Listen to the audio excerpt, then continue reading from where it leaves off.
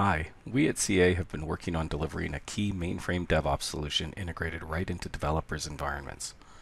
Our goal is this.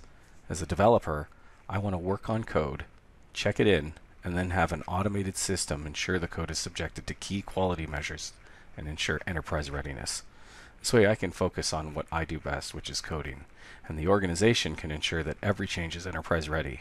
And you, as a business owner, you can choose which among these you want to push to production. It really fosters innovation velocity for developers, testers, and operations.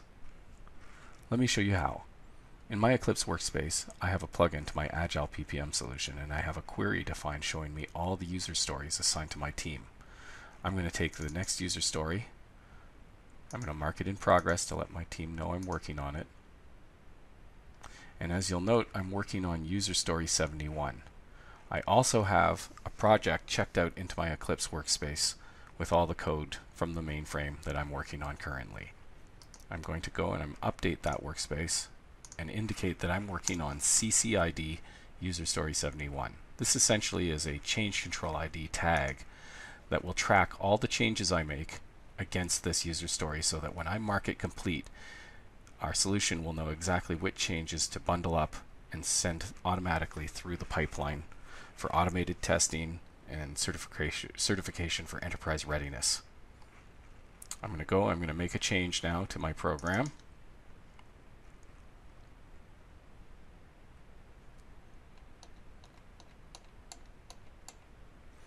And over here, I'm going to introduce a change into the ordering in our CICS program.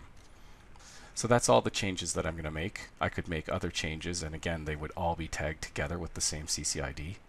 And now essentially I'm going to mark my user story as completed. I'll save it, and from there the continuous delivery pipeline takes over. Okay, so while that's running, let me show you what's happening in the background.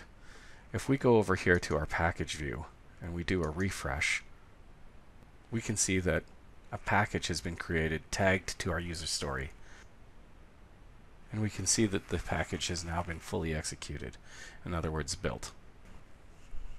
Now if we flip over here, we can see that I have set up a continuous delivery pipeline, which is a set of defined phases that I've created. In this case, I've got dev, integration, performance, and production set up as phases.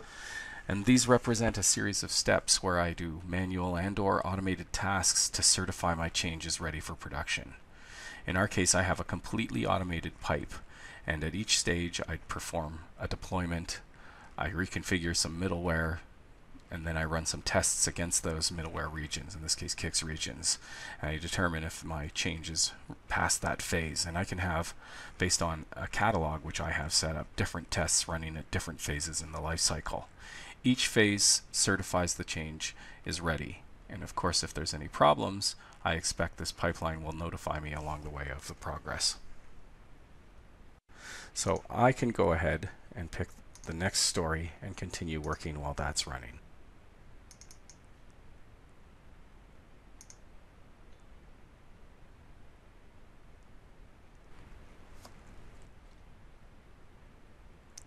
Uh-oh. Looks like there was a problem. I got a notification in my IDE that something failed. Let's go take a look.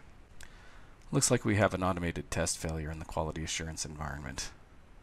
Luckily, I can see that I've got the JES logs from the test brought right into the defect for my review. If we scroll down a little bit more, we can see it looks like there was a compare failure on one of the master control files. So now we've fixed the defect and we need to check in our changes. So I'll update my CCID to the defect ID so that the changes get tracked against it. I'll undo my order by change and save it so that it gets checked into the source control system. And now I'll go to my defect and just like I did for the user story, I'll mark it as completed. Okay, so this time our change made it all the way through from development through to production. And we can see over here that as the change was moving through the life cycle, I was being notified of its successful deployment in my Flowdock. So I got notifications of failures as defects in my IDE, and I can also see in my flow the change is moving successfully from stage to stage.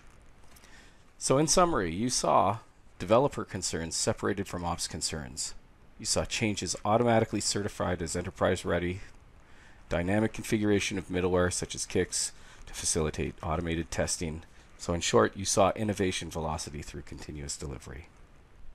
In this demo, I used CA's complete Agile and DevOps solution for the mainframe. Namely, Agile Central is my Agile PPM tool, CA Endevor is my SCM, Release Automation for Z Continuous Delivery Edition for pipeline management, and finally ALC for the open underlying extensible integration framework, which means you can use your own favorite tools along with our complete solution to achieve innovation velocity for the mainframe. Thank you for your time.